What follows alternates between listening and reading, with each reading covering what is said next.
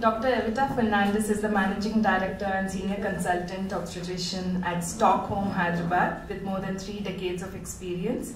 She launched a two-year professional midwifery education and training program and set up the Promise campaign, which is focused on professional midwifery services.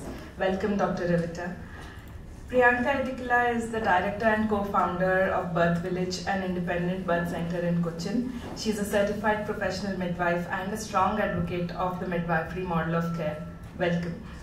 Dr. Vijaya Krishnan is the co-founder of Healthy Mother, certified professional midwife, and runs the autonomous midwife-led center in Hyderabad with a collaborative model of care. Celestina Cavender is a certified labor doula with over 30 years of experience in helping women and families achieve the birth they desire. She's a mother of six, passionate advocate for women's health, and a BBN board member. Welcome, Celestina.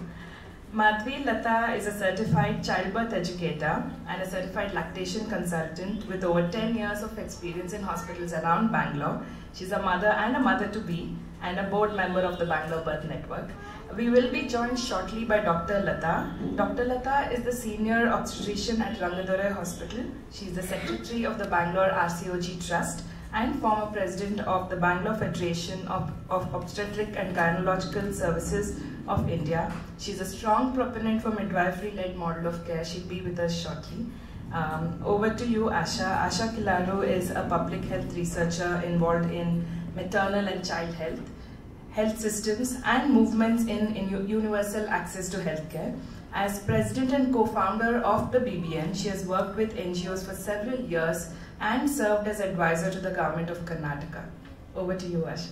Thank you. Can you hear me? Yes. So I want to thank you all for coming, um, including you know all my friends on the panel, and it's wonderful to be with a group of people who are committed and um, committed to, um, I think, providing better quality of care and committed to listening, committed to engaging in dialogue and really um, further igniting the change that we all are, are seeing in India, without a doubt. so before we start, so today's format is really meant to be more of a discussion. So the panelists are going to just take a few minutes each to kind of present a core perspective or a core aspect of, of um, these issues. And then we really want to open it up and have um, have a discussion. So that's I want I want to keep that in mind. And it's really not meant to be a passive format of a, a lecture and a, that type of thing. Uh, which is why also we decided not to use slides and, and things like that. Um, so the objective today is really to um, have open-minded dialogue, and I want to stress the open-minded, um, and I want to challenge each of us to think about um, a perspective that doesn't actually fit with us. So, you know, if I hear something and I say, oh, that's not the way I think, I'm really going to force myself to um, open my mind a little wider and to see what I can find in that that I can relate to and validate. So I think that's really important. Um, because we often find ourselves taking perspectives and models and paradigms, and I come from a, you know a research world partially, and we put those, um, we kind of diametrically oppose these these perspectives, and that's really what we're trying to break through. Is that we don't need to see urban and rural as different ends of a spectrum. We don't need to see natural and medical as two ends of a, of a you know as two opposites. Um, or private and public necessarily. Now these are useful categorizations, no doubt, but we really want to break through all of that. So um, with that in mind, um, let's let's get started. And I think um, Evita, we're going to ask you if you can start. Yeah, you, you want to tell me why I'm promoting midwifery? yes. Um, as an obstetrician, um, and, and I only looked after pregnant women, I thought I was an excellent obstetrician who was very focused and woman centered. But to my horror, about 10 years ago, discovered that I was far from it. I was, yes, I had good clinical skills, listening skills, I had knowledge, but I honestly did not understand woman centered care. And when I discovered that, at the same time, I was very, very interested in reducing maternal mortality because our hospital had grown into a referral center. And mothers were being sent to us and they were dying on us. So my interest in midwifery started from a different perspective. So we started the program because there was no program in India at that point. And having got into the program, I understood what midwifery was. And my approach to birth and understanding of natural birth took a 180 degree turn. And I realized I had to change. And India needs professional midwives with 22 million births and violence in terms of obstetric violence, respect and abuse being all across private and public institutes, I said I couldn't continue doing what I was doing. So that is why I'm here today as an obstetrician. And I've been doing this now for the last few years, promoting midwifery, professional midwifery, helping the government train nurses into midwives in a district hospital. And thanks to the UK midwives, we've got Indy, who's devoted two years of her life to help us promote professional midwifery. I want you to understand all of us obstetricians have been trained this way. Majority of us are not aware that we're doing the wrong thing.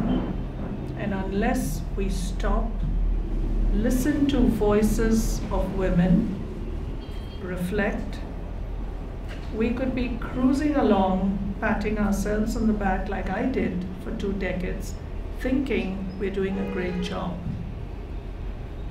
We are excellent surgical skills, and I'm convinced we need to refrain from looking after the low risk mothers. We need to get out of that arena, get professional midwives in to take over low risk mothers. We work together with midwives when we are called in to help and jointly support mothers through natural birth. Example, a VBAC lady wanted a water birth. We worked together on that and she enjoyed a perfect water birth. If she had asked me this 10 years ago, I would have said, rubbish. No way. But today, uh, we've also helped women, two previous sections, have a natural birth which I would never have thought of 10 years ago. I'll only end by saying, with the evidence of the long term impact on babies born through C sections or wherever there's unnecessary use of oxytocin, and we've become horribly interventional here.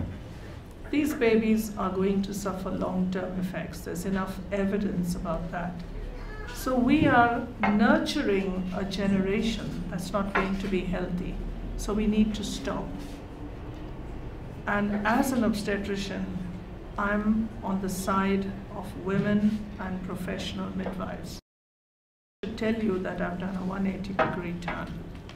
Because these babies that we are pulling out of women's bodies through sections, their immunity is going to be screwed up there's going to be an increase of eczema, asthma. There's a suggestion that these babies may have a higher incidence of autism.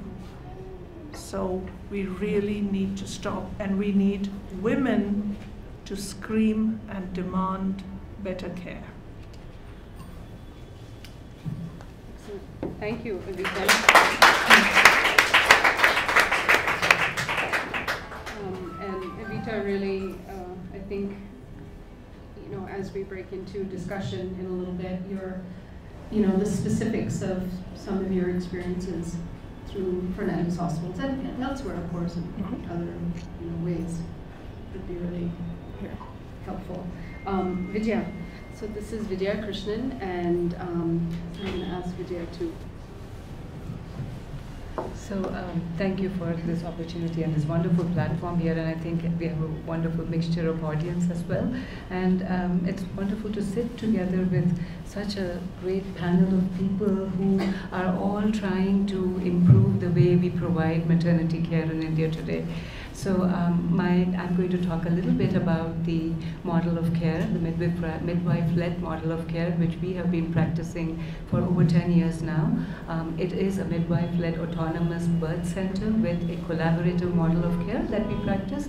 And um, a little bit about the background that we came into this with um, in 2007 when we when I started looking at how maternity care was provided, um, it was evident to me that it was uh, it needed a sea change. There was no question, there was no respect, no dignity, no autonomy of care, no ability for the women to make choices. And at that point of time, there was to the extent that we now have at least it's like almost a tipping point where now women and families are are understanding of uh, you know Lamaze and healthy birth practices and midwifery mod models of care, at least a little bit. At that point, there was nothing. So we started with Lamaze classes and women would come to us thinking that they're going to go through exercise classes and yoga and they would leave um, feeling that they uh, they actually have a voice and maybe a choice in the way that they could actually you know birth their babies but then what also happened simultaneously was that they would go back into the same medical system and in that medical system, a number of them, and I would say in the first year, 80 to 90% of our first class, first women who attended the Lamaze classes landed up with interventions and unnecessary cesarean sections. Um, that led to, you know, us talking to people, and what we realized was that and to me, as a midwife, I think one thing is very clear that birth, for the better part, is a physiological process. And you heard the doctor in the video talking about that 80% of you know women you know have, or the 80% of the time you spend with you know excellent normal births, and then a little 2% or whatever lands up being terror. So yes, there is a component of um, emergency care that is needed, but we wanted to give women that platform where they would have that undisturbed birth that they desire, where their voices would be heard, where they would be looked at more than a mere number, where they would be their their uh, their circumstances, where the phys the physical, the physiological, the emotional, the social, everything would be looked at as a midwife is trained to look at for. So this was where we started, and uh, from my perspective, I also knew that we could not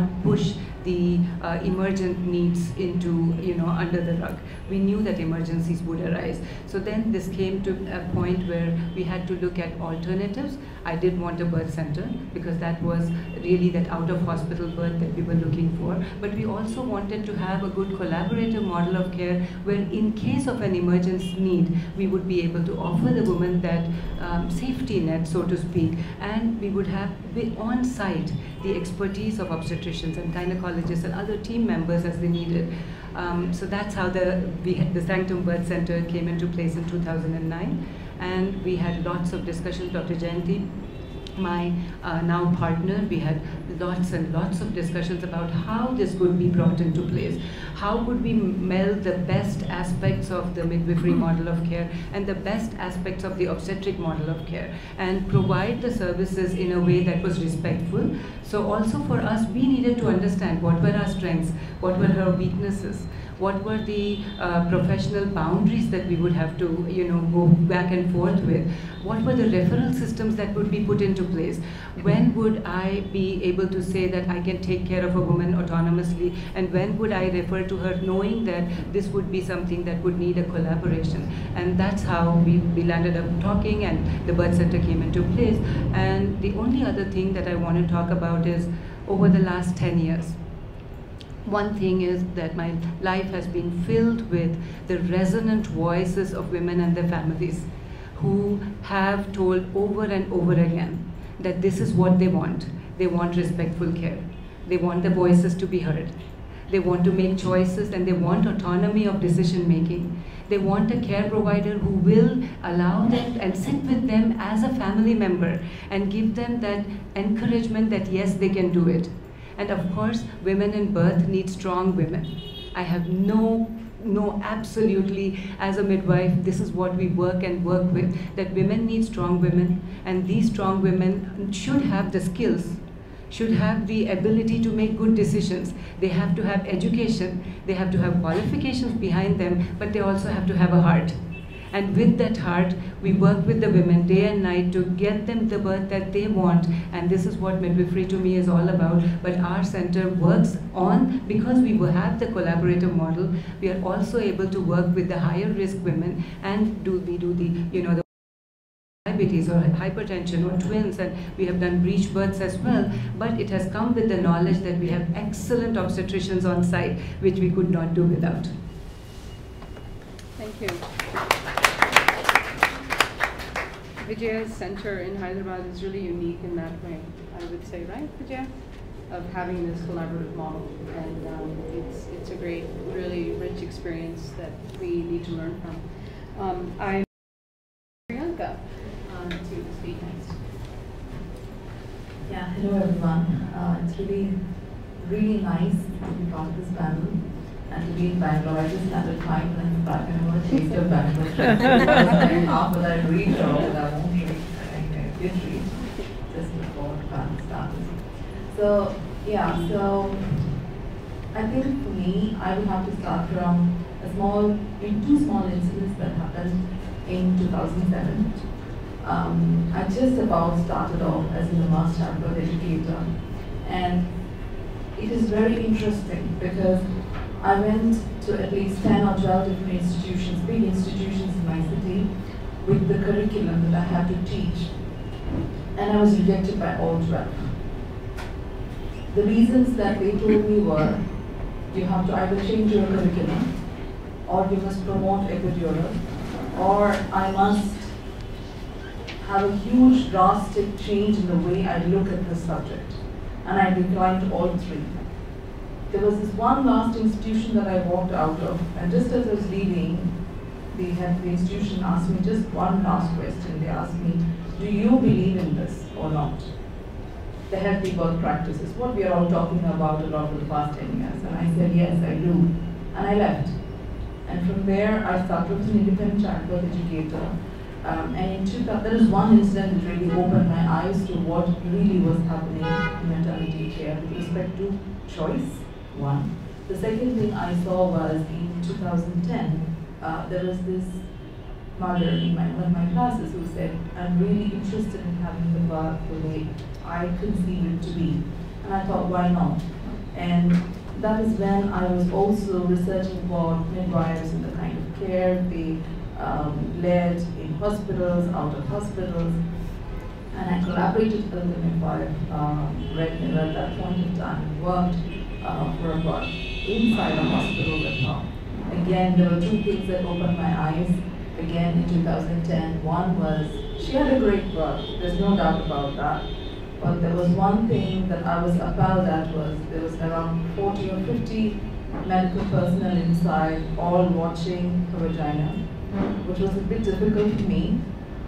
I could, I've still not forgotten the gasp that they had when as a midwife, we always encourage women to eat and drink in labor. It's only normal that you will definitely release your bowels when you're about to have a baby, but they were also about and I found, and I could literally hear their it was very, very difficult. At the same time, there was another incident that happened simultaneously is there was another baby um, who was a full-term baby, but who had anomalies. And that baby the family initially made a choice for that mother that she will not see or hold the baby. And the baby was left alone there while the mother was wheeled out. And everybody literally from the, I think from the nurse to the janitor, everybody would come in and look. And I also saw how, how there was no dignity even when this little human being was spending his last hour of life on this earth. And it really shook me.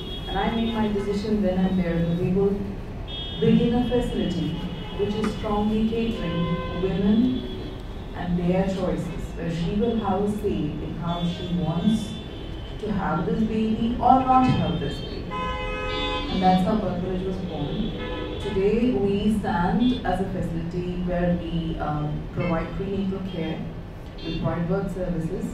Um, we cater specifically to low risk healthy mothers only because that, that's exactly what we specialize in. Uh, we're looking at uh, women who are um, healthy. When I say healthy, we're looking at women who um, are free from gestational diabetes, hypertension, because by simply by the virtue we are not a hospital birth center. And that's what suits the birth center. Now, keeping this in mind, uh, we also are quite strict about the numbers. Now, we also believe that every woman must receive a midwife and continuity of care. This is very important for us. So in order to maintain this, we stick to around 10 births a month. This is what we do. And we think, okay, 10 births a month, and you know, our institutions as such, when you look at other hospitals, is a bigger number. But when we look at one midwife to one woman, the ratio, it works really well holistically and we're able to give her complete care. This is again an important facet about our center. Now, another thing I think which is unique about uh, the center is we have our, is our postnatal care. So after the, the mothers have the babies and they go home within 24 hours or so, we continue with uh, visits at her house. She receives visits from the midwife at her house, say close to four or five visits at her house, and maybe around four or five visits to the center, which is which goes up to six weeks. And I think this is quite luxurious because she's very she say, she often says she feels like a princess. People are coming and visiting her and the baby and seeing how she and the baby is doing. So it really works. So in a way it's community midwifery. That's what it is. And uh, with respect to statistics, um, I think this is something I found unique in most birth centers, is that most birth centers world over have really good outcomes, around 95, 96% is a natural birth rate. Um, we're doing quite well as far as statistics is concerned. Um, my and having said that, now at today when I sit here in this panel, my thoughts are a bit different. I really wish to see how this can be expanded forward for the country. I think this is very important. Why midwifery for India? I think because India's women deserve the best. And I think every single woman deserves a midwife. There's no doubt in my mind about this. I'm very clear about this. Um, and I think that this the one country that has said this very strongly is Germany. Germany says very clearly that a woman can birth without a doctor but not without the midwife. They have clear, it's very clear for them. And we do need our doctors. There's no doubt about that. They are super skilled when it comes to surgeries. In fact, we have some of the best surgeons across the globe. But when we have a 1 is to 1,800 ratio, and again, another experience that I had was in ICM when I attended last year we are the second in the world in terms of population. We have around, I think, uh, 1.73 million nurses and around 7 lakh 86,000 nurses, uh, sorry, auxiliary nurse midwives registered in this country. When I went for the ICM, I was stunned because there were so many women marching and waving their flags and there was hardly next to one or two from India as practicing midwives. Even Pakistan has a presence over there. Sri Lanka has a great presence over there. If you look at the midwives from Bali, they're these tiny women, but by golly, their spirit is outstanding. You know, we are nowhere. We are so nowhere. And we really need to bring midwives back. The last point that I have is that we're talking today about autonomous midwifery. It's one of the topics I think coming up in the panel. I think we have somewhere forgotten that all of us sitting here are products of a generation of women from villages who actually did work independently and autonomously. We're just reusing these words which actually existed in our community once upon a time. And it's so important that autonomous, independent voices of women, of care providers are heard. And it's very easy to silence these voices, but I think it's time to start listening to them.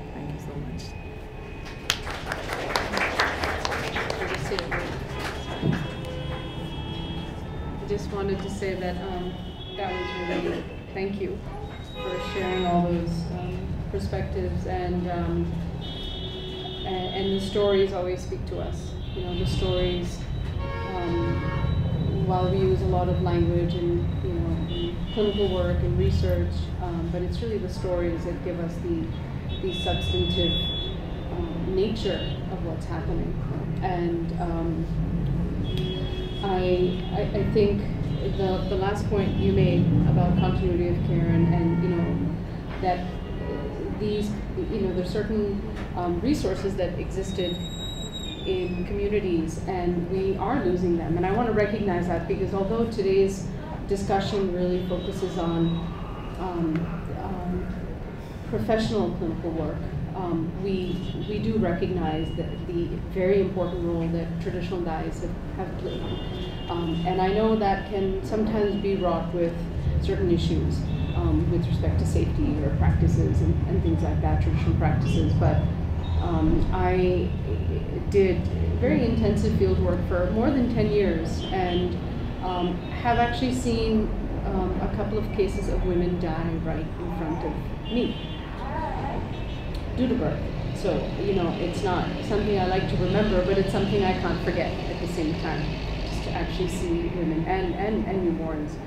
Um, and that's because we have really silenced these dais we have not really incorporated them. I mean, there are a few examples in the country here and there, but for the most part, we have not incorporated them into any of the service programs that are existing in the country.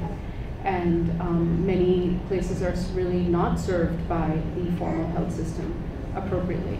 And so coverage is, is still an issue. So I just wanted to, um, that kind of came up when you said that.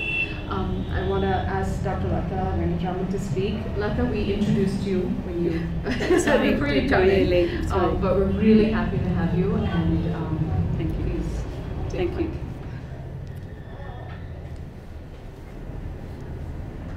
I should say good evening to everybody. Um, very heartened to be here on this panel because we are groping again, finding common grounds to promote midwifery care. Evita has worked extensively, and all of you on the panel and the panelists here have worked extensively in this field. But have we made the way or are we getting anywhere is the question. See 23 years ago when i came back from uk i thought why are we not having midwives to care for our women? But even to this day it is very sad to see that as doctors we still continue to deliver women in our centers so, what have been the barriers to this care or to develop midwifery uh, led units in our country? I think I have to say, without much embarrassment or with embarrassment, that obstetricians themselves are one of the barriers to care. Very sorry to say this, but Fatima, I don't know whether you would uh, agree with me, Evita. I don't know whether you would agree. Okay? Obstetricians, I think we feel that even low risk deliveries are in our domain and it is bread and butter for obstetricians. So, are we prepared to let go of the low risk obstetrics to midwives? I think we should, and we should let go of low risk mid- deliveries to midwives, and we should be able to support, complement rather than compete. Should be the policy of obstetricians. Excuse me.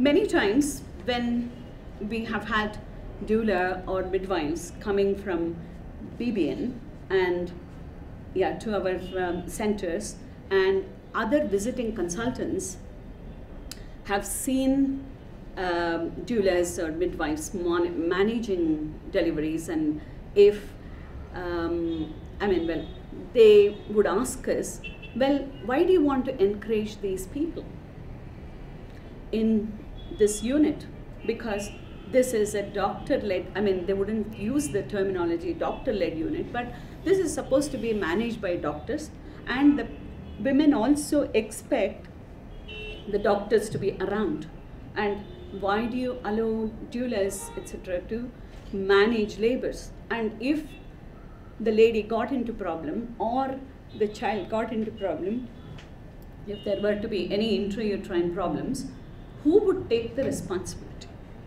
Would you be able to take the responsibility? And anyway, we tried to get doulas manage our labor wards um, a few years ago um, through a, a UK based, um, what can I say, the collaboration work. But unfortunately, these questions, who is going to manage, I mean, especially from visiting consultants, would put people off and also put our staff off. So that was the problem. That was one of the barriers to care. I'm going to talk about barriers to care mainly, briefly, hopefully. and women and family, okay, they are also another barriers to care.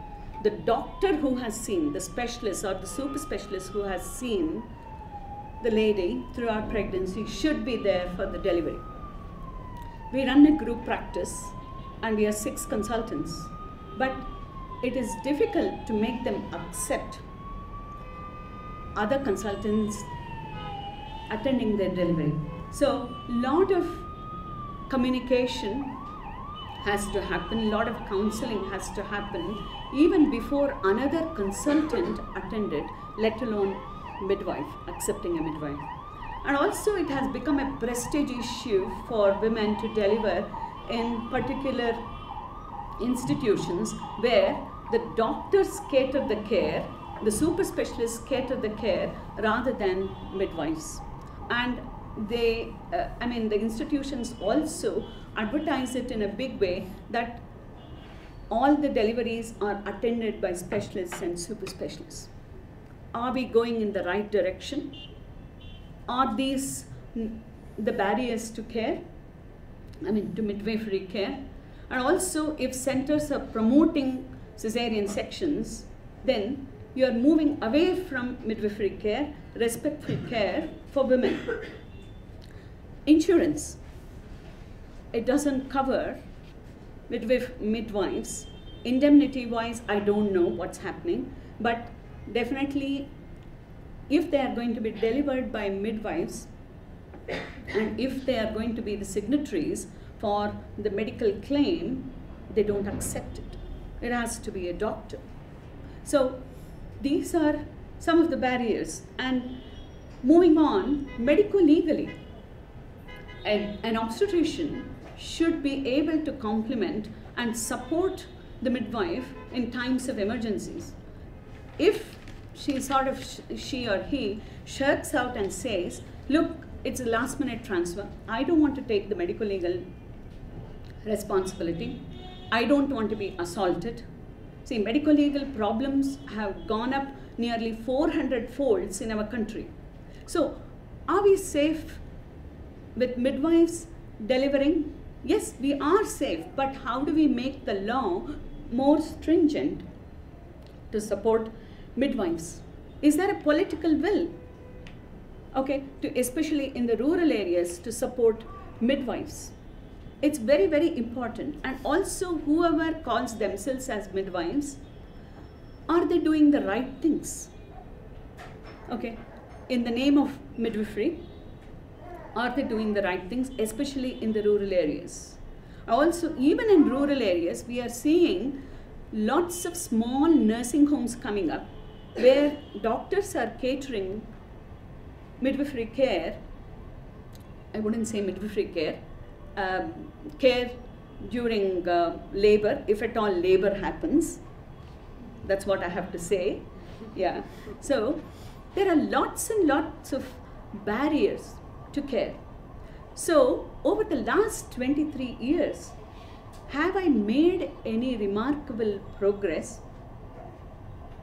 It's very, very doubtful because the system, though we have done it in a very small way, the system has not sort of allowed us to do things. And also, for example, corporate setups, if we wanted to have a midwifery unit, when I was heading the Fortis, I put forth this, put forth a midwifery unit as one of the priorities. But they were not very willing because they wondered who will take the medical legal responsibility, whether the care, the standards of care will be maintained, and whether the other consultants will accept it and things like that. So, lots and lots of barriers to care. So, how do we address this? I think this forum would be a good forum to see how we can complement as obstetricians and midwives in caring for women. It's very, very important that we bring in this change. There is no doubt about it. If you saw other countries, I really feel sad. Why should our women suffer like this, not get optimal care? Why should we medicalize the pregnancy? It delivery, pregnancy and delivery or privileged functions, and a woman woman is designed to get pregnant and deliver most of the time normally and have respectful care, why are we making it pathological? So, all these are barriers to care. We have to see how best we transcend these barriers to give women the best. Thank you. Thank you, Latha, and a lot of really important issues there, really practical and policy barriers um, legal, insurance, um, acceptance, acceptance within, you know, um, birth, among birth professionals, acceptance by Yep. um, women and families. Because you're right, there that that's also one aspect of it. Um, and I think a lot of education and awareness is needed. Um, I'm now going to ask um, Celestine Cavender to speak. Thank you. Thank you and hi everybody. Sorry, put my glasses on. um, okay, I've been a doula for the last 30 years and I really respect Dr. Latha what she just said. Um, a doula is a is a uh, basically a woman servant. So I'm a servant to the mother, and having my own kids um, kind of motivated me all the more to be more passionate about what I do. Um, just coming back to one point which doctor was saying about why are doulas a threat to the doctors. Here we are actually making things as simple as possible for the mother to birth naturally and normally. And we don't do any medicals so we actually should be working as a team to be able to help that mother to, to deliver that baby you know. But yes there is resistance in the hospitals with the obgs it's not very easy um, so sorry just to get my points. So there are two different types of doulas one is a labor doula which i am and the other one is a postpartum doula there is another one also which is also called the comfort doula which uh, which actually is um, if in case there's a death the doula actually comfort doula comforts the mother and is trained for that so a doula is professionally trained in childbirth who provides emotional, physical and educational support to a mother who's expecting and experiencing labor. A doula's role and purpose is to help the mother to have a safe, memorable and empowering birthing experience, which includes, sorry, okay, an empowering birthing experience and this has a positive impact on the labor process. The labor process actually is reduced when the mother has positive input.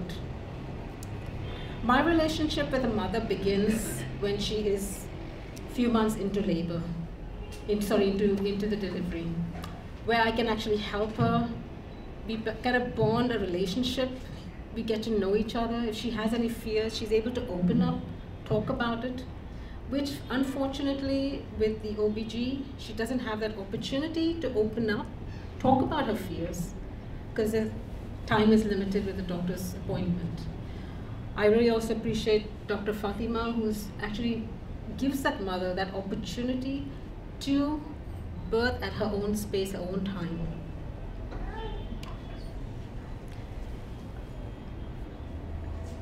As a doula, we provide comfort with pain relief techniques, include breathing techniques, relaxation techniques, massages, and share with them the different laboring positions. Again, that's a big, big topic here, laboring positions. We very much encourage the partner to get involved in the pre-preparations, which include prenatal classes, which is very important, and is also reassuring for the mother and for the husband as well. The goal of a doula is to help the mother experience a positive and safe birth, whether an unmedicated birth or a cesarean. As a doula, we do not provide medical care. After the birth of the baby, the doula will spend time with the mother to begin her breastfeeding journey and the bonding between new baby and the family. Studies have shown that having a doula as a member of a birth team decreases the overall labor by 25 to 30 percent. So we actually need more doulas, please, here in, in India. Thank you.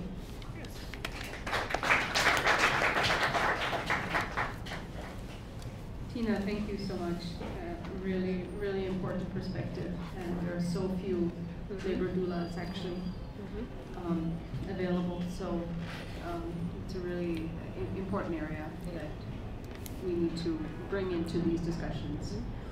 Um, I'm going to ask Dr. Madhavi Lata to speak, who's a child childbirth educator. Good evening, everybody. And um, I am a Lamaze certified childbirth educator and also a certified lactation consultant. So um, initially I started as uh, wanted to do prenatal yoga classes because my basic qualification is uh, physiotherapist. So I wanted to do prenatal yoga classes. As I started this, then I realized that women need to understand what labor is all about or what about what is that they have to expect. It is not just about uh, being physically prepared, but I, I found that many women do not even know the choices that they have. They are going to blindly put themselves in the hands of the doctors and say, okay, whatever you do, I am ready for it. And this is where I felt women should really know what, what are interventions and what is a natural birth people are really not aware of what a natural birth can be. When I talk about uh, episiotomy is not required or epidural anesthesia is not required, where you can try and you know do breathing, they are quite surprised and they are really unaware of the whole thing. And that's where my Lamaze education helped me to empower and educate women about this. And this is uh, education like you know um, these are well educated professional women who absolutely have no idea about birthing so they they think what doctor tells what the gynecologist tells is the ultimate. They have no choice or they they don't even know that they have a choice or they can raise a voice. Ask the doctor that okay can i do this? Can i do that? No they because they are highly unaware of the whole process of birthing. And that's where the Lamaze education helps in empowering and educating them saying them okay that this is a choice. This can be a possibility in birth and you can this is your body you have to take control. And you have to be like you know capable of or uh, being aware of your body and asking the doctor that okay is it a possibility? Or can i at least give it a try? So that's what is uh, my basic work. And i am seeing that a lot of women are slowly asking or raising voice and asking their gynecologist to provide certain kind of care. It could be a very simple change in the way that uh, they are getting the care, but it is making a good difference, and that's what I feel very happy about. And ultimately, what I realized is that whatever I am teaching as a Lamaze educator, it is not being implemented in the hospitals because Bangalore does not have any birth center and we really need a birth center and a midwife or a midwifery model of care because people do not even know that a model of care like midwifery care exists now in India we have only one autonomous care that has to be a gynecologist in a corporate hospital. That's all. So uh, my my effort is to educate women on saying like you know uh, uh, telling them that there is another model of care which is possible but where I find challenging is that there is nobody who is providing that care except for few, Dr. Uh, Lata and uh, Dr. Um, Fatima Punawala. Other than that, I don't see anybody who is doing any kind of natural birthing in Bangalore. So uh, may I request Dr. Evita and uh, Dr. Vijaya to please come to Bangalore and extend your services here. We really, really need your expertise here, and uh, we also need your, um, you know, the midwifery care and more of doulas and more of obstetricians who believe in natural birthing. That's all I want to say. Thank you. Thank you, Madhvi. Um, again, really important issues around childbirth education because it is really a key component um, in transforming how care has to happen. Um, we, we have a couple of other people who actually wanted to speak. I think, is Usha? Yeah? Usha's there. Yes, hi. hi. So, um, Meghna, you want to make an introduction? Okay, fine. You have it here? Um, I don't, I don't have her. She would be able to introduce herself. Yeah, why don't you do that? She can do She that.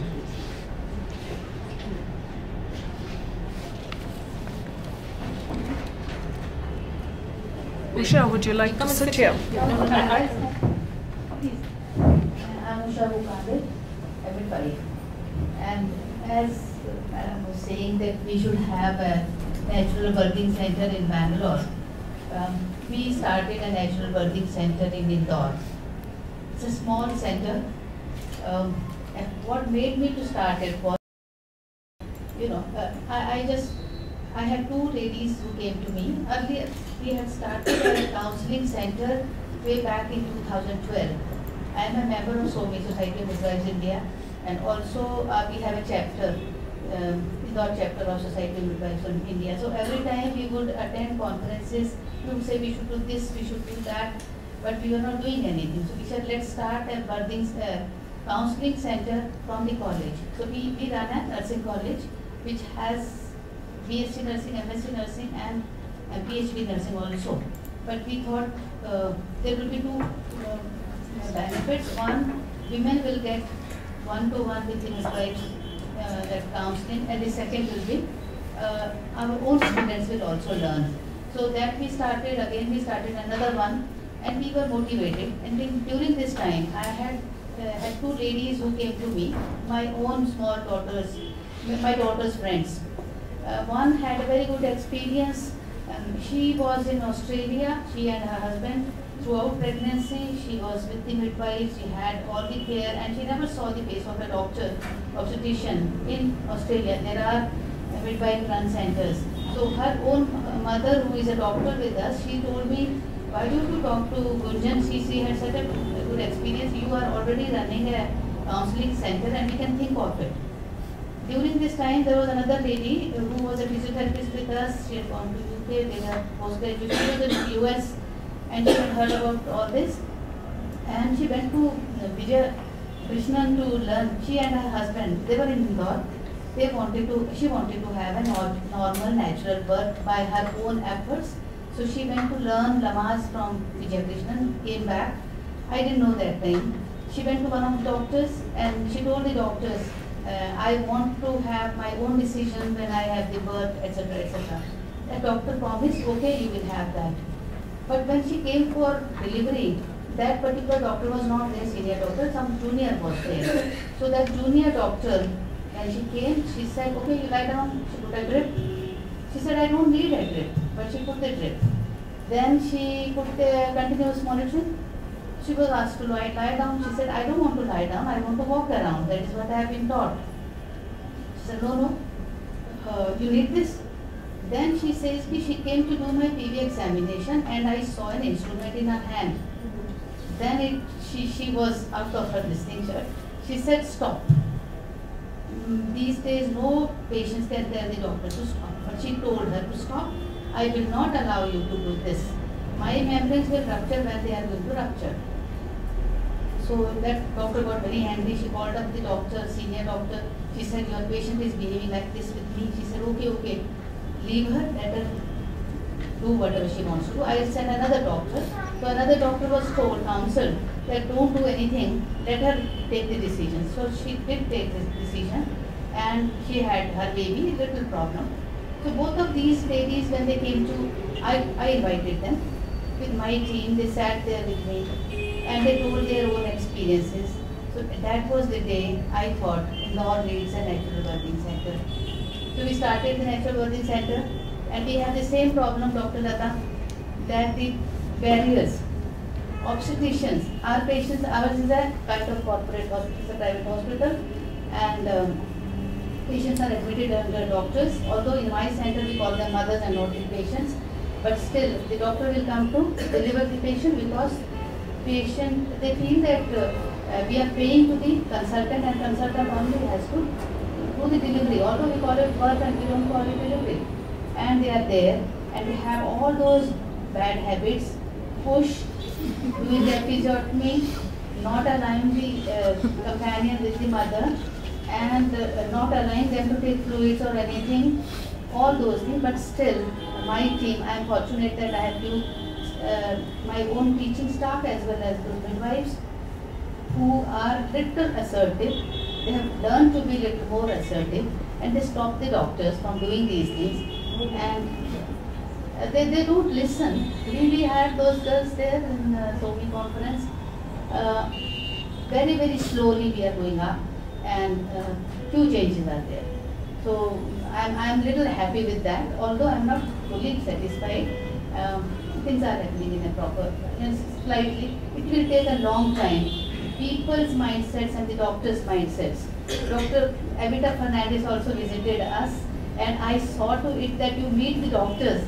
She also, she also said, unless a doctor tells a doctor, they will not listen to a midwife, they will not listen to me. But she, she talked to the doctors and our Dr. Soni is little better now. the grey hair helps.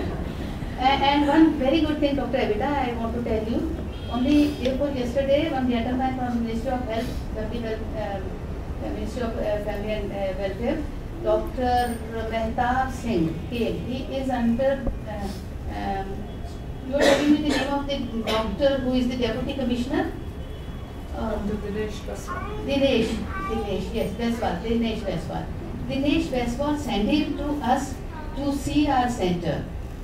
Uh, and he sent a letter to me. I told him, please send me a letter, not just WhatsApp and then office, some official is coming from um, government of India. Uh, my people will say, who is, why, how did you call? So Dinesh uh, sent a letter saying that he wants to learn what you are doing. Can we uh, replicate it into a larger community, especially this thing, uh, periphery and all that. Um, we showed him the place, we showed him everything that we, were, we are doing. He's gone back, he says, I will prepare a report. I, I told him about uh, your Fernandez hospitals, Telangana uh, government uh, midwifery course. Because what we are doing, we can do two things. Counseling the mothers is going on, but this education part also, we can also do it because we have a college. So uh, I told him, he didn't know. Um, but then I will send back that, okay, you people are already doing in Telangana, if you want to do it some other places also. So uh, I'm, I'm really happy that Dr. Evita came. Vijaya, Vijaya had come long back in 2005 or something. Uh, she had motivated us about the, her own birthing center and I sent my girls to learn from them. Then we started our birthing center. So anyways, thank you.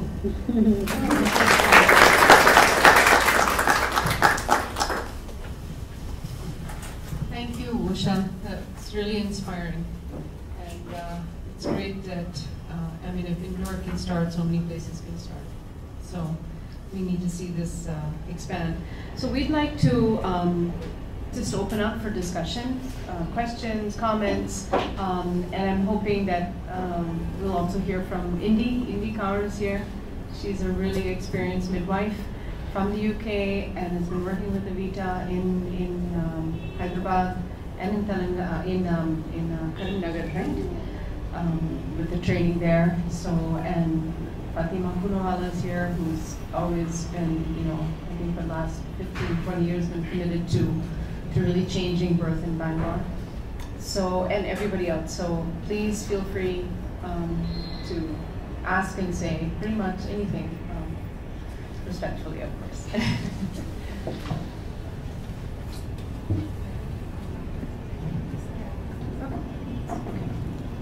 If anybody has any questions for our panelists, please let me know. I am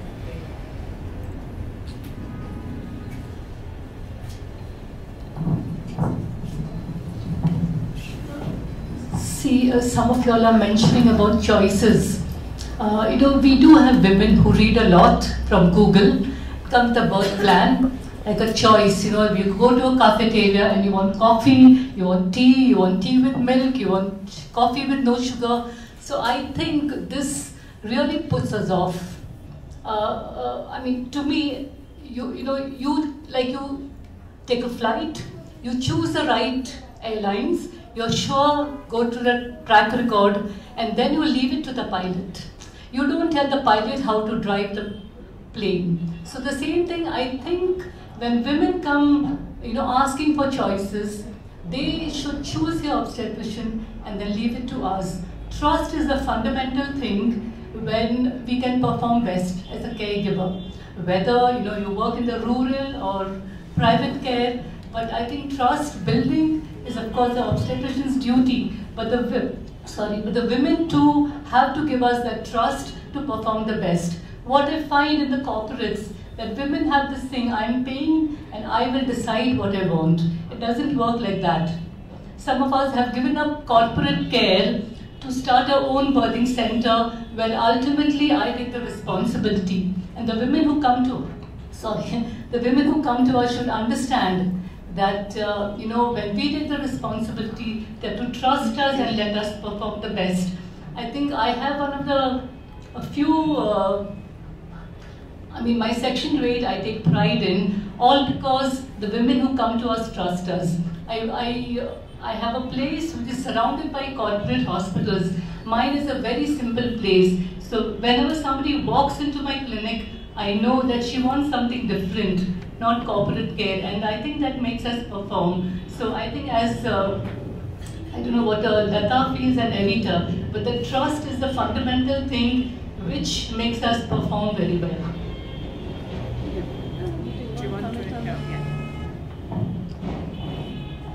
Fatima, I, I am afraid I don't fully agree with all that you've said. Trust is important. Trust between a woman and a midwife, trust between a woman and the obstetrician. But what I've learned over the last few years with midwifery is we need to hear that woman. It's her birth. How would she like her birth to be? We give her the right information. Um, quite often, we obstetricians are afraid. And we are afraid to give women the space to make those choices. If somebody wants a vaginal breech birth, I should be able to look into her eyes with fear, without fear, but honestly say, I may not be able to do that for you because I don't have the experience. But maybe you'd like to go to somebody else for that to exercise that choice. Um, I'm, I'm just using that as a very simple thing. But I feel it's important we go through a birth plan talk. If it doesn't work because of blah blah blah blah, do you trust that we make the right decision for you and your baby? I feel it's time we obstetricians give women that space. Sorry,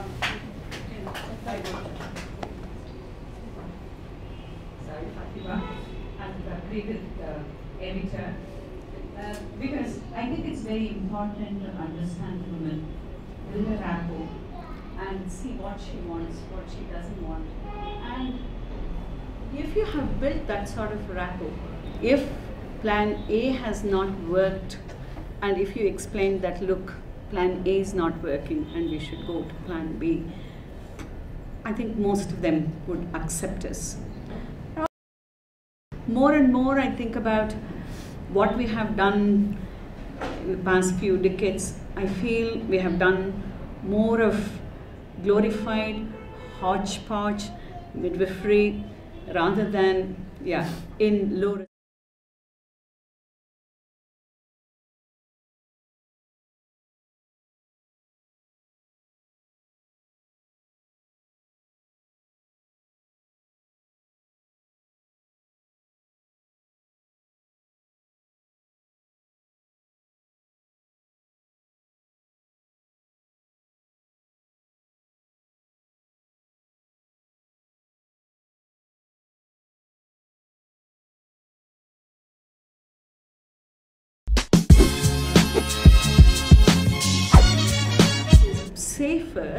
For them to deliver with midwife rather than the specialists or super specialists who will medicalize the pregnancy.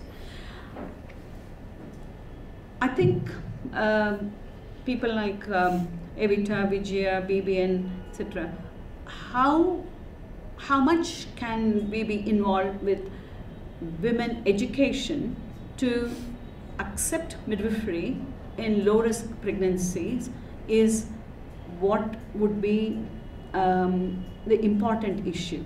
It is not only you have to give up, but if the woman chooses to go to a midwife, then the obstetricians wouldn't have a big role to play if it is a low risk pregnancy. So I think education, empowerment of women is very, very important in accepting midwifery care. And also institutions providing midwifery care is also another important aspect. Don't know what people feel.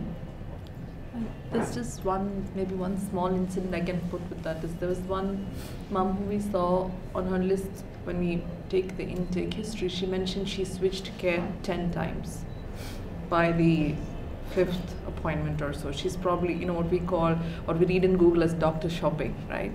And when she came in for appointments, at least I think we saw her four times, and all the four times she never um, allowed us to touch her belly. She just never allowed us to touch her belly at all. and that is kind of, you know, you as a care provider, you feel, okay, is she putting, why is she doing this, and uh, what is it that's making her refrain? But on the sixth visit, when she came in, she came alone and she said, I would like you to feel my baby. And when we, she just lifted her, her salwar top up, it's quite evident that her belly was full of stamp marks. Basically, she was suffering violence in pregnancy, which is why she was refusing to show herself to anybody. And it took her that time to really and everybody was judging her that she was putting on a show and things like that but that was so much far from the truth. And it really takes us a lot to create that space for a woman of abuse to open up. It really takes a lot. And there's sometimes more that meets the eye and we just can't write women off just like that. There must be something a way more deeper than that Ma'am, I would want to say that when you say about the trust factor, um, it is the trust when um, the doctors or the gynecologists are doing cesareans where it is really a medical reason, ma'am. And uh, most of the times I see that the cesareans are happening because of convenience or because of time constraint. This is what is happening. And um, because I am, I'm uh, uh, educating women from past 10 years. And most of the times i see that the gynecologists who are not really pro natural birthing they are either uh, midway through. Okay fine. If it is normal fine. If it is cesarean it's also fine. And many gynecologists are pro cesarean they start preparing women from 28 29 weeks onwards saying that it could be a c-section around 36 37 weeks. This is what is uh, you know reducing the trust on the gynecologist ma'am. But if the gynecologist is really pro natural birthing they are trying to educate or you know really uh, guide women right from day one be, it on the lifestyle or be it on the diet or be it on the weight gain. They are guiding the women in all the aspects. It's not just looking at the baby's growth and all. So that kind of uh, comprehensive or holistic care is what is missing, I feel. And the most of the cesareans happen because of comfort or convenience or the time constraint that is what is increasing the cesarean rate and it is got nothing to do with the trust factor so they all trust their gynecologist so much that they fail to look at uh, around the other factors. And that's when uh, the gynecologists most of them I'm, I'm sorry to say that but most of the corporate gynecologists are kind of exploiting women and um, making it convenient for them I've seen a gynecologist who has done a C-section just because she has to go attend a party. So where this woman was nicely dilating around 6-7 centimeters, she said the baby's heart rate is dipping. This that created a big ruckus around and did a C-section just because she had to step out for a party. So this is what is wrong the trust factor. Uh, this is where um, you know the gynecologists are losing the trust because one case two cases like this happen and then the word of mouth spreads or the google it spreads and that's where the women stop really trusting the other gynecologists for really pro natural birthing. Otherwise definitely women do trust their doctors more than they trust themselves. Um, any other questions? But I think before we go to the next question or later on, Fatima, maybe, you know, if you can relay like a specific instance, you know, or example, um, because it, it is an important issue, I think, and I'm sure many physicians, I mean, we talk about midwifery care, but let's face it, we do not have enough midwives in the country to provide midwifery care for everybody. So we are looking at changing the way OBs are practicing as well. That has to happen. I mean, midwifery care can be practiced by other people than midwives. So um, maybe if you can speak a little more specifically to um, this issue that you're talking about. I think every profession, I mean, you have to have the passion to be a good practitioner. In Bangalore, we don't have midwives. We obstetricians believe in natural birth, and I practice like a midwife. I just don the hat of an obstetrician when something goes wrong. What's wrong in that?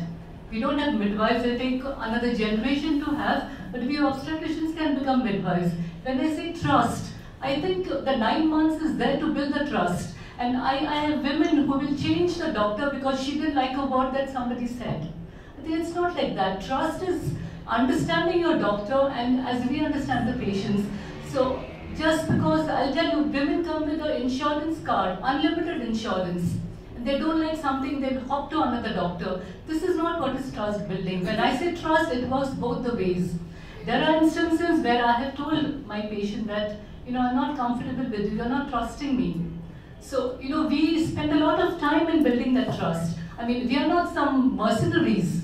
I'm there to offer my service and I believe I'm going to do best for my patient. So I think you have to see from the obstetrician's point of view as well that we are trust building and the woman should take it up.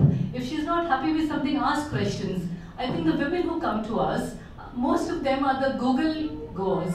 I also go to a place where, you know, by choice, they don't have money, so they come to that place. It's run by a mutt. Their women don't know anything. They, they trust that I will do the best. And both, wherever I work, I think our outcomes are the same because they trust us. Wherever, whether she pays me or she doesn't pay me. So I think that is trust building. So the women have a responsibility also to create that rapport with me. So when I say trust, that is very important. You know, you have a baby, you want to deliver, but you have to give your caregiver that trust. So I think that point goes missing when we all demand that, you know, we should be looked after well, but you have to give that trust to your caregiver. Anybody want to add to that? Yeah. I think, sorry, um, I, I hear your pain. Um, no, I'll, I'll tell you why. Because I'm someone who had a baby. I trusted my OBGYN. Um, I think in the larger scheme of things, and I've spoken with my friends about this earlier, all said and done, the reason why I had a normal birth, not a natural birth, but a normal birth, a vaginal birth, was because, to a great extent, because of her guidance, right? At the same time, today, when I when I sit in a forum like this, uh, when I think of why didn't I ever pick up the phone and find out where I could go to a Lamaze class, or why didn't I ever try to find out if I could get hold of a doula? Um, I, I, heard, I read about birth plans. I was the quintessential Google goer. Um, I went back and asked questions. I was told, don't read too much. Very nicely, but told that. I still kept reading and I kept going back and my strategy changed to say, I know you're going to scold me for this, but I'm still going to ask you this question, right? And she figured that, okay, this one is going to ask questions, so I might as well answer it. I think the whole thing about trust is is what uh, Madhavi, talked about as well. It's commendable that we have someone like you sitting in the room who says, I'd rather, even if I am an OB, I would rather play the midwife role for most of the time when an OB role is not required. Unfortunately, unfortunately, very sadly so, there aren't a lot of OBs who would say that. That's the tragic part of it. That's one part of it. The other part of it, and which I also have a question for the panel, is what uh, Dr. Lata talked about, this whole thing of the barrier in the minds of the women and their families. I have to be attended to by a doctor, and not just by a doctor, by the senior doctor. I felt, went through that hierarchy myself. So there were times when the senior doctor would not be available. Her the lady who was training, also a doctor with enough experience uh, with her, would see me and then she'd say, oh, okay, yes, wait, doctor will see you. And till the doctor saw me in, during every visit, I'd be like, is she really going to see me? Am I going to go away after meeting this lady only? There is no basis whatsoever for that question.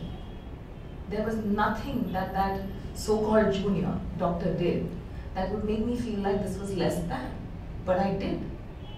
And I'm saying, I, I really would like to hear from you know, people in the panel, how are you breaking this barrier? Because this is, and I'm sure this is not just India, we are very hierarchical, we are very class conscious, but I think that's true the world over in different ways.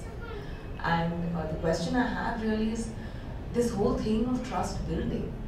How do you do that? and how do you actually change the perception of some of the people who come in? So um, I think trust is a two-way, two-way street, and I think as a society there needs to be that raising of that consciousness when we started, we there was nothing, right? So it was when people would come, we would have to explain what midwifery is, and still many of them would would choose to maybe uh, you know stay with us for care, but many of them would choose to go back to the OBGYN, and even currently there are there are people who will come. We are primary care providers, so people will come, but they they they are looking for that doctor-oriented model of care many of the times. But I also do think that there are a couple of things that I want to bring up. One is Google is like a part of our lives. If I have something today, I do Google it. So I can't wish it to go away. And yes, I think that, that we have to be cognizant that people will come in with knowledge, with information. And yes, there are the, you know, the people who may not want to do that, but most of us will. Um, that's one part. The other part is, I think, how do we listen to women's voices? I think I bring, bring up this in the context of a an emergency physician who landed up giving birth with me, and she landed up changing care to me in um, the 39th week of her pregnancy. She was having pregnancy-induced hypertension since week 28, and she was then in the same hospital where she was an emergency physician. The head of the obstetrics department was taking care of her. But her questions were never answered. So why do I need to take this? She, is, she and she says very clearly that I save lives, and at the drop of a hat, I know when I need to, you know, do something to save a life. But to me, my questions were never answered. Why do I need to take a medicine? What do I need to do? I she she cut off her emergency care shifts she ended up going on a lower, you know, work routine, so on and so forth. But eventually, when she found out about us, she was in week 36. Now, she didn't come necessarily to change care to me at that time. She came to explore what is it that our model of care can offer her because she really wanted that natural birth. In her words, she says, I was in love with natural birth. And as a woman, I felt that that was what I wanted to do. But in the medical model of care, in the obstetric model of care, with pregnancy induced hypertension, I was not being given a chance. So, fast forward, finally, she meets with me, and I said, You know, if you're going to birth with me, these are the things that we need in place. I need you to meet my backup OBGYN I need you to get a physician consult. We need you to be on better blood pressure control. It was not controlled the day I met her, and she was really not taking many medicines. She was still trying to figure out because the natural part of her was wanting to do certain things. And anyway, long story short, she does not meet with me again for two weeks. I am at a conference when she calls me and she says, I know, and she writes a long letter which I still have kept, and it goes over two pages, and I read it three times, and I had tears in my eyes, and I said, How can I not accept this woman back under my care? And what she was looking for, because that particular day, three people had called her and said that she was putting her baby at risk, and her baby would die if she would not come back and have a cesarean section. So here is an emergency care physician who says, I'm not a criminal. I want the best outcome for me and my baby, but I want my voice heard. I want a place which will tell me what are the pros and what are the cons, and let me make decisions for myself. And let then, if, if you feel that there is a true emergency, I am not a fool, and this is a highly educated medical professional. So eventually, at 39 weeks, she comes, she takes classes, she does what she needs to do, gets her blood pressure under control, and of course it was a complete collaborative effort, but she had a baby naturally. And the first thing she did when she looked at her baby, she said, I went through all this, and I never knew you could be so beautiful and give me this fulfillment. So again, we are looking at what does a woman want. If she wants to be respected, we have to give her the pros, we have to give her the cons informed consent, informed refusal, both have to be taken care of. And if we cannot give her the choice to make an informed refusal, what are we doing? Because it is her body that we are talking about. Yes, we are in a unique position as obstetricians and midwives, we are taking care of two lives it is very clear to me that at that point it is me and whoever, all the people who are providing her responsible for it. But that trust has to be built over a period of time. And if I had said to her, you need a cesarean right now, she would not have argued with me. I'm pretty sure about that. But what she wanted was that feeling of trust and respect and care. And the other one small thing that I do want to say is about also the importance of this collaboration that whenever we need it, because we just had a VBAC after two cesarean sections yesterday. The second cesarean section happened, the first one was completely not required, non-needed non C-section. The second C-section happened with us.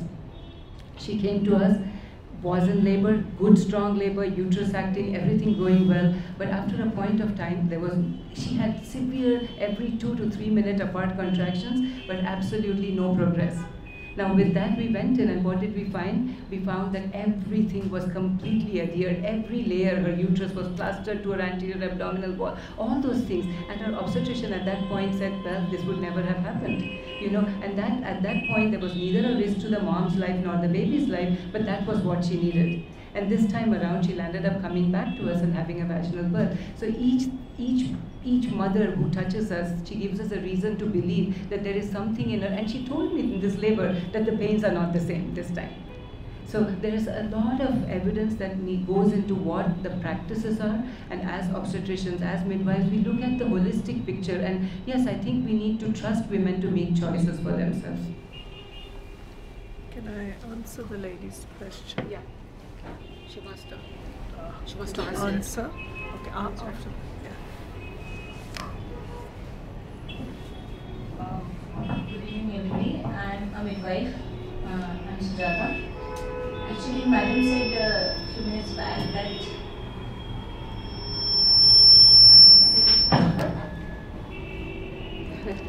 okay.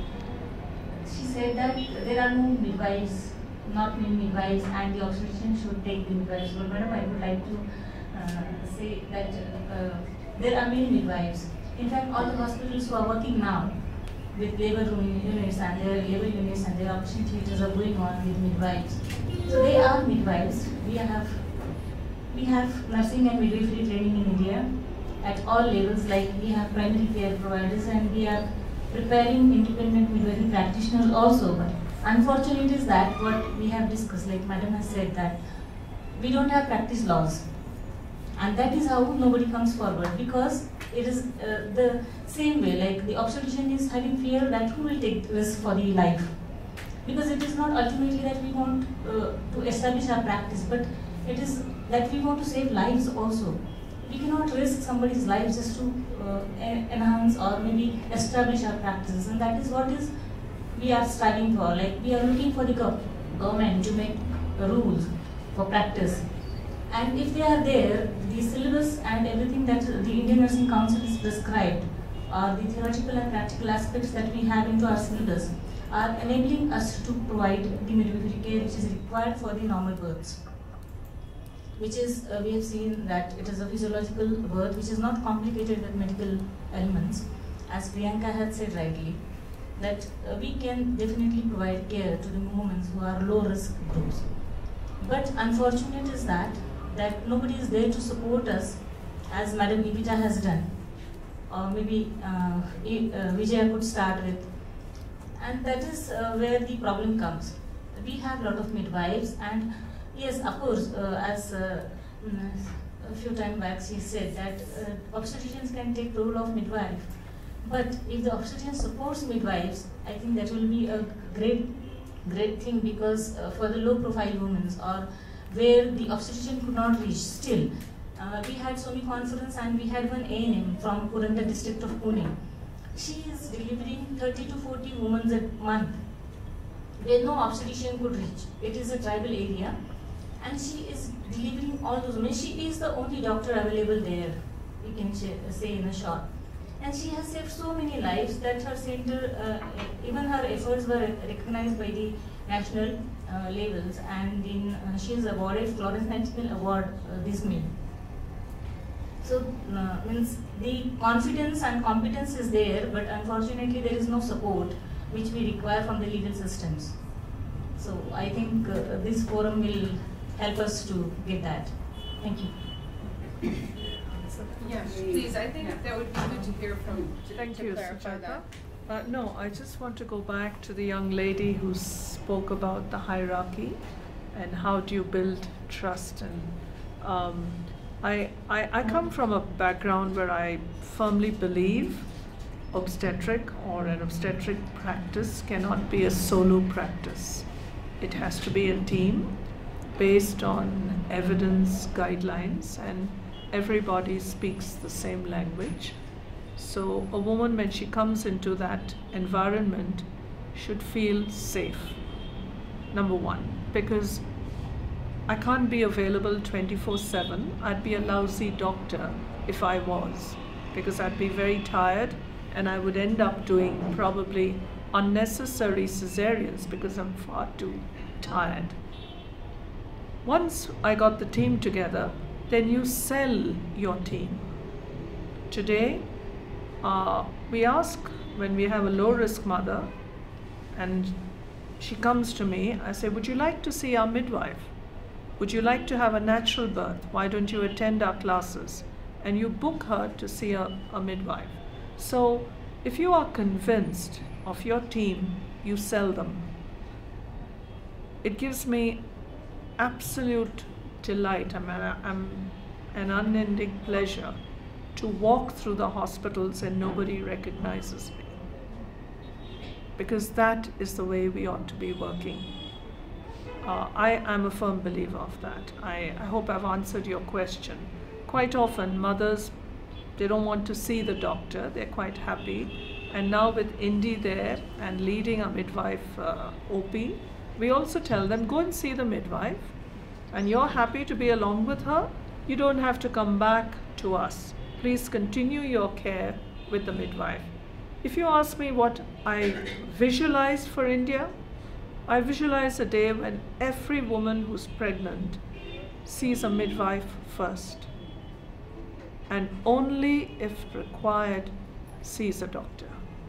That's what we are aiming for at Fernandez.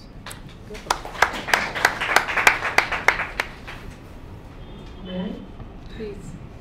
Um, it's, it's, it's very interesting. I've been here for two years, um, and as a professional midwife in the UK and coming to India, it's such a vast difference, and it's, it's, it's sad. It's sad because uh, Indian mothers are not uh, given the chance and, the, and for healthcare professionals to let mothers believe in their ability to birth. So in the first thing, mothers birth. Mothers don't deliver, pizzas are delivered. That's the first thing. And, and, the, and the second thing as well, uh, what makes me sad is you're all very privileged to be in this room. So you're all here, you have Google. Think about the mothers in the institutions where we are actually doing some training. And these mothers, they, are not aware, they're not aware of their rights, they're not aware of what to expect. And the cesarean section rate where we're training is 70%. And among, let me tell among you, first-time mothers. For first-time mothers. 71 Seven And this is first-time mothers, and it's going to be a huge public health issue, because what's going to happen? They do um, um, cesarean sections for. They, there's no VBACs, there's no inductions. Uh, mothers are not even given the ability to birth the moment they reach 39 weeks, and very often below 37 weeks without a clear indications they're having a cesarean section. So that's impacting on the babies, that's impacting on outcomes and public health. And it's really, really disheartening. The, the second thing is, um, when you look at the, uh, um, it's, it's sad because you have traditional birth attendants, you have ANMs, GNMs, and you have professional midwives, and it's very confusing. The word midwifery is used very liberally. I'm not saying that we're not playing a part, but when you attend the Human Rights Conference now two years ago now, the midwives are saying that they don't have enough of training. Now, don't mothers deserve a right to have a trained professional looking after her? Come on, we are in 2018 and our maternal mortality is 174 per 100,000. In my country, it's under 10. And that's not right. These deaths are preventable. So why are we, we as a country, and in India doesn't even have a baseline of professional midwives. Why is that? We went through this in the UK, and in 1924 to 1936, we, the, the government says, okay, anybody who deals with birthing mothers needs to be trained and that happened. And this is what India needs to do now. India needs to wake up. You have mothers who are dying as preventable. Start with the baseline. We don't even have a baseline. See, uh, it's cheaper in, in the Western world to be delivered by midwives so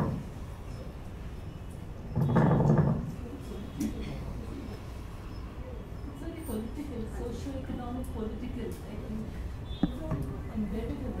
See, uh, it's cheaper in the Western world to be delivered by midwives. So their political um uh, you know, the politics promoted that. So I think that's a basic difference in Europe. If an obstetrician delivers the same low risk, you know, they have to pay more, while the midwife delivers. So it is a very political, economic thing which started. And then I think we are not clever enough to have adopted it. I think that's a problem. All I know is that women need to need to start somewhere. You, you, um, women need to start the revolution. And there are many of us professionals who will be part of that movement. We're here to support you. But unless women demand, scream, stamp their feet, hold hands, and start creating that movement and demanding, you know, we need this kind of care. We need these professionals we want it, it's our basic human right, things won't happen. Because wherever major decisions have been made and change has happened, it's been led by women. And, and you're right, like Vijaya, you said that the mother was saying, if you don't do this, my baby will die. The language that healthcare professionals use, oh, you're only three centimeters dilated. How does a mother feel? You've got an incompetent cervix. How will the mother feel? failure to progress. How will the mother feel? It's the language that we use unknowingly that's really psychologically damaging for women. Women need to celebrate. Women need to own their births. But do we give them the opportunity to do that? I don't think so. The language that we use, Why do we do certain procedures? Why do we need a light when we're doing a vaginal examination? Why? What, what do you need to see? Because a mother actually, in the UK, we had we opened up a clinic for sexual survivors, and mothers actually said unknowingly, why do you need to, to put the light to healthcare professionals? Because it made her feel violated again. Women who've been abused tend to go through the abuse when they come back to the pregnancy period. And unknowingly, the language that we use, one woman said, a healthcare professional said, be gentle and it'll be over. And those were exactly the same words that the rapist had used. So we really need to be very careful with the language that we use. So now you know what Indy has done to us at our hospital. Yeah, good one, I think there's also one more thing which you mentioned is we generally, now this is because I think majority of the women here are visiting doctors and we have a fascination with the specialist doctor. We have to accept that. We like the high profile doctor. We like the Gucci bag. We like the attire. We like the walk. We like the style. We like good looking people. This is how we are.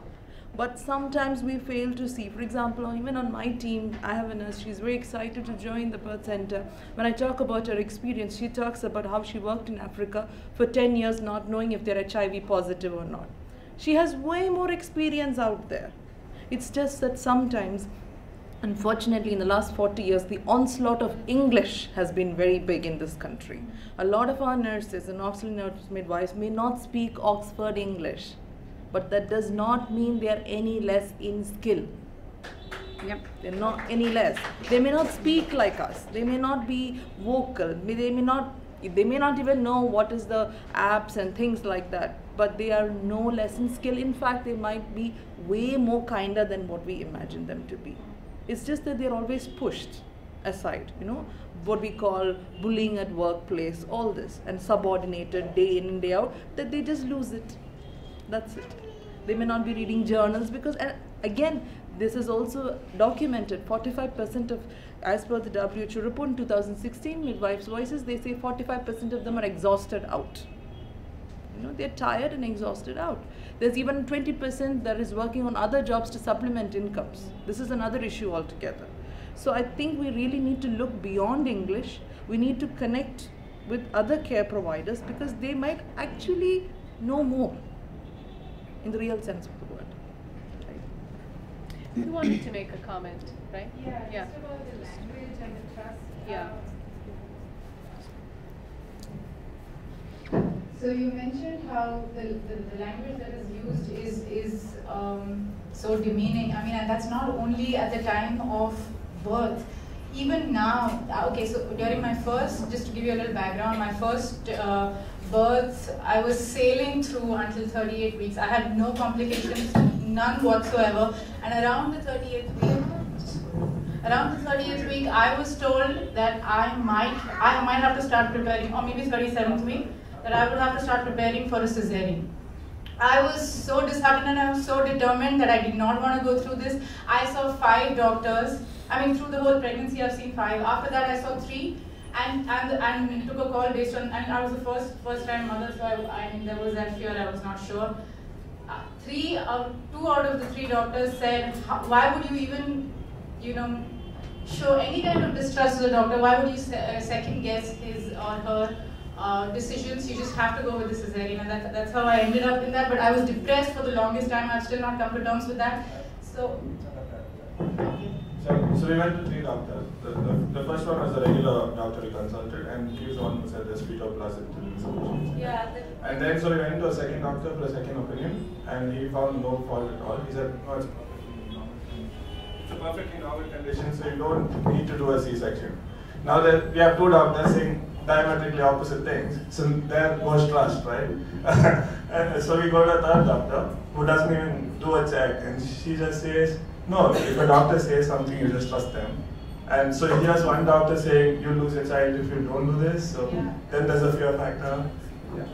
Yeah, no, and these were the top three rated doctors in Pune that I met. That, that, that did not work. Secondly, the, the language yeah, if something goes wrong, uh, it's on you. I mean, if the child dies, it's on you. That was I was I was at the receiving end of that.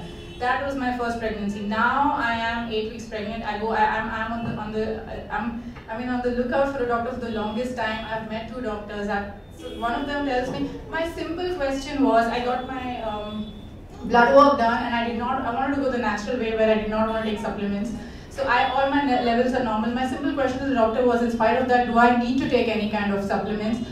The doctor said, see, you have to take it. I'm not prescribing. I, I have experience. I'm not prescribing it uh, so that you don't take it if you haven't already started and if something happens to your child, if he develops any kind of neural uh, tube problems, it's on you.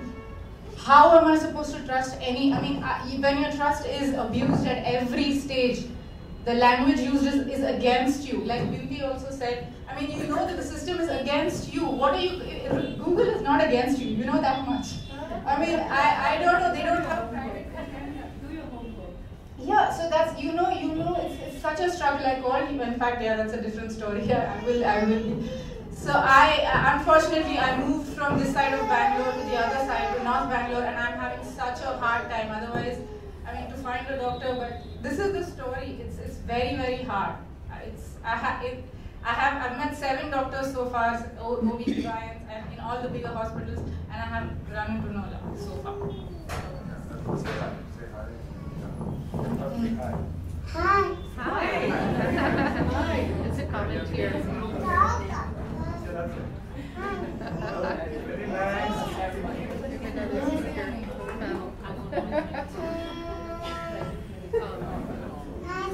I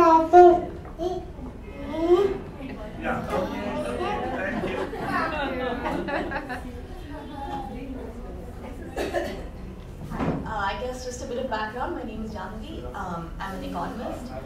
Um, and I was exactly one of those people, you know, who quest, question a lot. And I did somewhat of a circuit of doctors in Bangalore, but I got fed up of that search pretty fast and went to Vijaya in Hyderabad. Um, so a few comments. One is about trust. See, one, one thing is just if you take the group of doctors, we know most patients in India blindly trust their doctors, and in urban India, we have cesarean of well over 50%, I would guess. Right? So, that, first of all, that says, you know, you shouldn't be trusting the doctors, it would be my opinion. But even if you take at the individual level doctors, even the ones who have a good reputation, how few of them back that up? You don't really know, right? You're saying, trust me at my word that my section rate is 25% or 30% or whatever. So one thing which really impresses me about Fernandez Hospital and Vijaya is that they publish their rates. Right? In, in, when all the doctors are publishing the rates and I can really say this doctor is 10% and that doctor is 30 then maybe that doctor 10% should say blindly trust me. You're showing some results, not, you know. But talking about midwifery as a solution to this, one thing that strikes me about what the ICM, I forget what it stands for, says is that you want three pillars of education, regulation, and an association. And I do think, I think Indy brought that up, that one of the big problems in midwifery in India is it's like, I mean, it's all over the place. It's not, you don't know what you're getting with a midwife, somebody who calls herself a midwife in India. And I, I'd like to hear more about what you think can solve that barrier of how, I mean, I guess some sort of some reg regulation of credentials or what, what could crack that problem that right now it's, you know, we don't know we're getting. Actually, midwifery in India is regulated. Uh, it is a complete core curriculum which is developed by Indian National Council. There are certain requirements for the uh, practice, uh, like you have to conduct certain number of deliveries and a uh, certain number of assisting of the abnormal delivery so that you go through the clinical phase of all the normalities and abnormalities of labor and whatever goes into managing a pregnant woman and her baby when he comes out. There are registration bodies, but then as you said, that is what we are also looking forward, like tomorrow is our meeting for, for the same. Like regulations are there, but then when somebody comes as an autonomous practitioner, he definitely or she definitely needs to have some more competencies and confidence. and to uh, enable that practice to be a competent one, we are looking uh, to propose for the direct entry midwifery level like uh, India has got in her country. Like they are trained into only midwifery skills and they are trained to handle all the emergencies that may arise out of normal labor. So that is how uh, we are also trying to get into.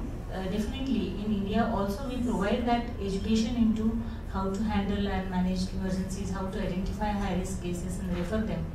But yes, there are like uh, as we say that not all institutions are good enough to provide care and provide the practice experience to their students.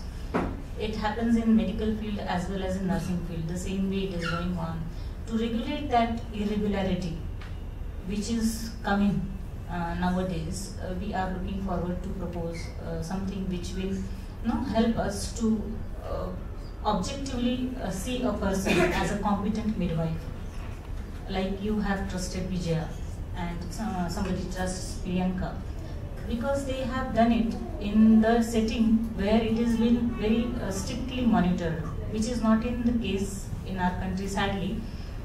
But there are midwives, as Priyanka has said, that they, uh, some are working with uh, long years of experience. They are competent enough to provide care, and they are not coming forward because the practice law is not there. So that is what we are pushing forward. If the practice law is there, definitely there will be strict regulations and monitoring that will be done for the practices of the midwives, and then that is how we will be able to, you know, put forth uh, the professional midwives.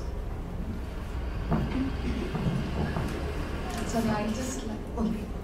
Just, just a quick thing. I think to answer Janvi also and then to also talk about Sujata. I think two things need to be done. One is, of course, that the, the existing, you know, competencies of what the whether it's the ANMs or the GNMs, basically the this is these are the auxiliary nurse midwives and the graduate nurse midwives. They because we have approached it from a nursing standpoint, I just believe very strongly that those people can be trained into becoming the kind of midwives that the woman needs. See, my one issue I think where we, we have to look at it strongly is the where you have been trained, even for those who have had the curriculum competencies, you're being trained in the same um, you know, medical model of care.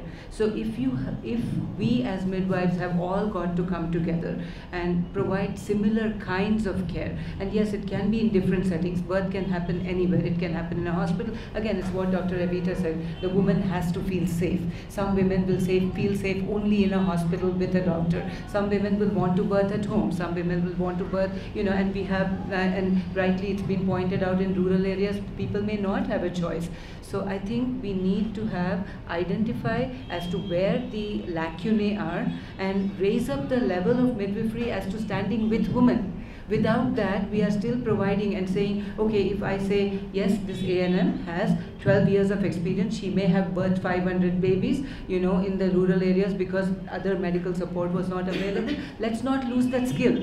Let's take that skill up, but then up, upskill her a little bit into getting those core, core competencies to provide that with women midwifery. And I think Dr. Evita has done a bit of that, and in this in this process, and India has helped with the rural training. So I think one aspect would be to give that extra 18 months or whatever of training to the existing midwives and get their clinical skills and competencies up. The other thing would be to again try to push for this direct entry midwifery because many of these women who come into the direct entry midwifery may not have a scientific background but they have the passion.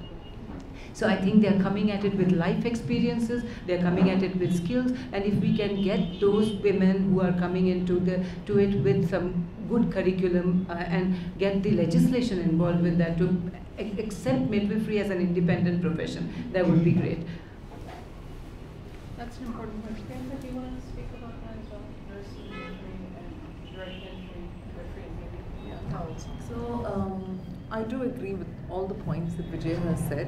Uh, there's no doubt in my mind about direct entry. I think it's really important because I've always seen um, midwifery and nursing as separate. Um, it's really important to, and this is how the world works, right? This is, I know in India we have a lot, a long way to go, but the world definitely works like that. We must have different cadres of midwives in this country, uh, hospital-based, um, independent midwives, all different categories. And I do feel that um, the time is right to implement the curriculum and move things forward in that direction. Yeah. Yes, yes, please do. Okay, yeah. Uh, that, that was a very important point raised, Janvi, and we feel very strongly about the need for regulation, standardization of curriculum, because as everybody agrees here, every woman should be offered the best care and support. So the midwife has to be highly skilled, competent, and confident. I'm working with the government of India who actually is ready to push professional midwifery across the country. We're trying to get the government to understand one thing you cannot cut corners on the quality of training because politicians want fast. And when we say minimum 18 months, ICM is International Confederation of Midwives. And the definition of a midwife has to be strictly adhered to. And so, therefore, you've got to have a professional who has these core competencies as outlined by the ICM. So, it becomes a kind of a global bar that we've set for ourselves. We're also trying to work with the government and say direct midwifery is also required in this country. And I agree because over the last few years I've met various women who've joined and become professional midwives, as Vijaya says, because of different experiences. But that doesn't diminish nurses who go through focused training in midwifery and practice only midwifery. So the government at the moment is poised for this, but our fears are will we dilute the standard of training? We need regulation. We need strict laws that control what we do because ultimately we are dealing with two lives. And we shouldn't at any stage be settling for anything less. Again, women need to demand. I just have one. Yes, please go ahead. Yeah. Uh, before I go to the question I have for the panel, I just quickly like to say my experience in a couple of things. Uh, but I was a first-time mother in 2016, and my very obvious choice then was uh, the doctor who who helped my mother deliver us 35 years ago. So I went with, I blindly trusted her. There was no doubt of trust here. And so I was back with the same doctor after 35 years. She has seen us as babies, and I'm there as a mother, as a to be mom. Um, so the journey of nine months was great, and uh, I had no complications whatsoever. Um, but during labor, the whole story was different. Uh, I ended up in a C-section with the same doctor who was 35, who treated my mom 35 years ago. So with this, I'd like to quickly ask a question to the panel. There's something that has changed over time. It is the same person, the same system, the same doctors, or the same qualification. But something has changed over time. Are we able to recognize what is the root cause here? What has changed over time? Uh, one thing that always comes to my mind is the growth, the phenomenal growth in the pharmaceutical industry. There has been a phenomenal growth there, but definitely it comes with its pros and cons. But uh, that is one thing I've always uh, felt. Uh, a drastic growth in pharmaceutical companies has somewhere uh, contributed to this drastic change. Um, you might as well like uh, disagree with that, or I'm not sure. This is just a bit of uh, you know my my thoughts and opinions. But I'd like to understand what has changed over the years. I think if we try to find out that root cause, because we already know what we want in place to make the birth um, more accepted by the family and the mother but how can to change those or meet those barriers or rectify those barriers we need to understand what caused this change in the first place i think we never we, never even had a formula for that matter 60 years ago 50 60 years ago and now it's quite common breastfeeding is it's, it's, it's hardly uh, you hardly hear know of mothers who would breastfeed. So you're just going back to the same practices. Something has changed over time. So I'd just like to know if there's something that any of you would like to share.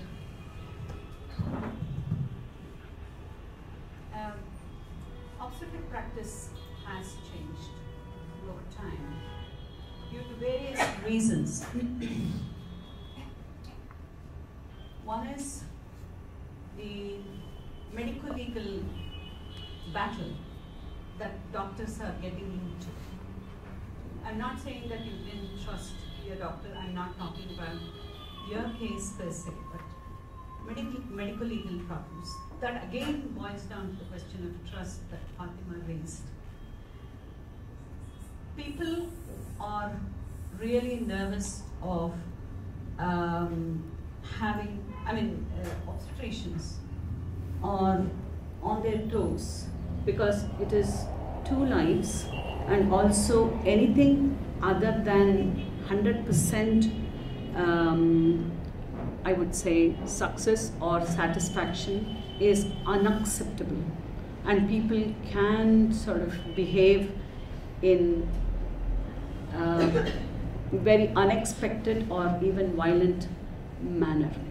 So that has put the obstetrician on guard, many obstetricians on guard. That's one. The other thing is the availability of other services like theatre, anesthetists on time, junior doctors to monitor labors, reliable staff or midwives to monitor labors is becoming a big issue.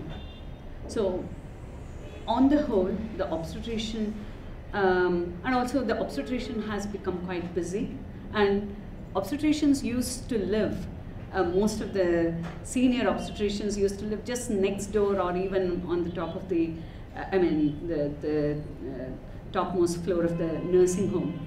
No longer. And they have to travel distances. Traffic is a big issue. So lots of changes. Okay? So and also monitoring has become more intense and ctg interpretation has uh, led to um, many cesarean, unwanted cesarean sections, misinterpretation or suboptimal interpretations have led to. Yeah.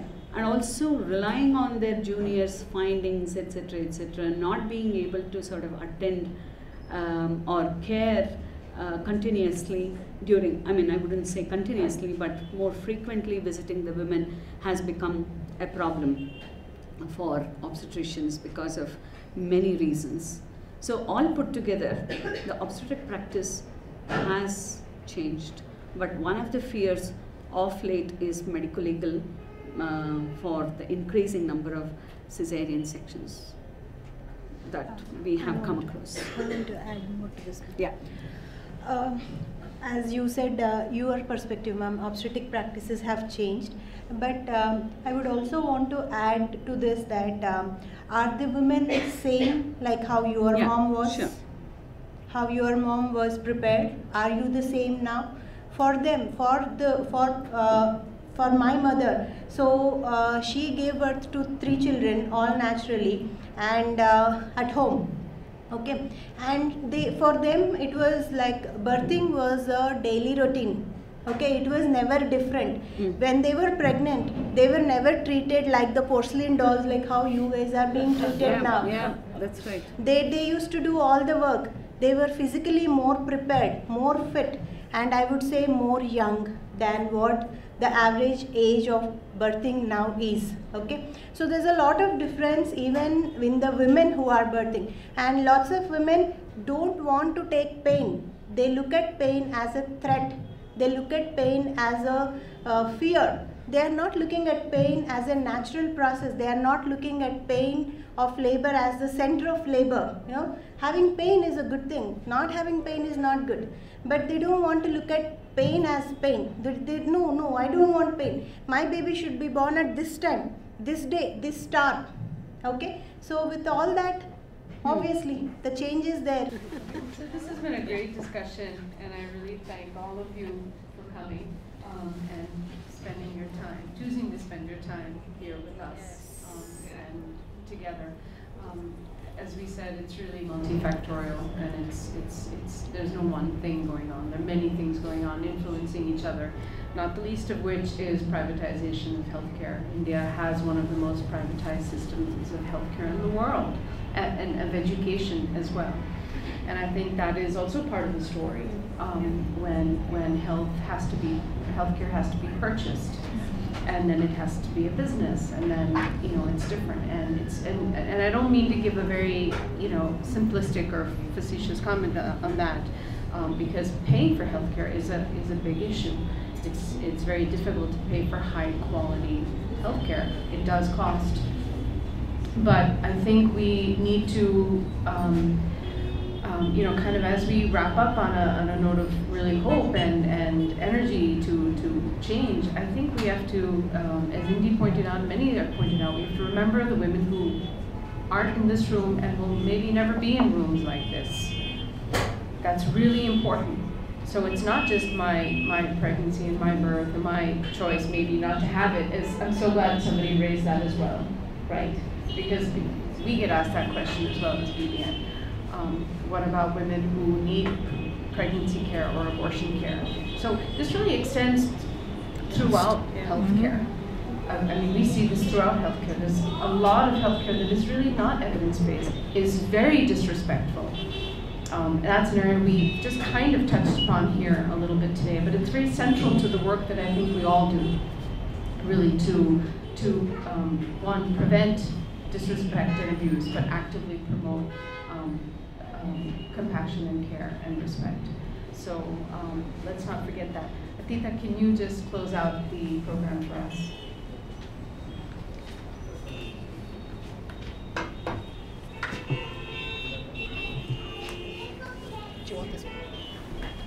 That was some insightful conversation and discussions that we had. Thank you for joining us today and being a part of this momentous conversation. Uh, you can watch and share this event on Lively at Facebook thanks to our media partner Home Screen Network, India's first multi-platform online live stream TV channel. Bangalore Birth Network is doing exceptional work in spreading awareness and promoting evidence-based, respectful maternal health care to women from all sections of life please do reach out to us with suggestions and feedback that you have which could better our work. If you would like to help us in our journey and consider making a contribution to our cause, please visit our donation desk and Erin can help you with the process. Thank you for joining us today and we hope that you will take back the conversation with you to grow and strengthen this movement of cause. Thank you.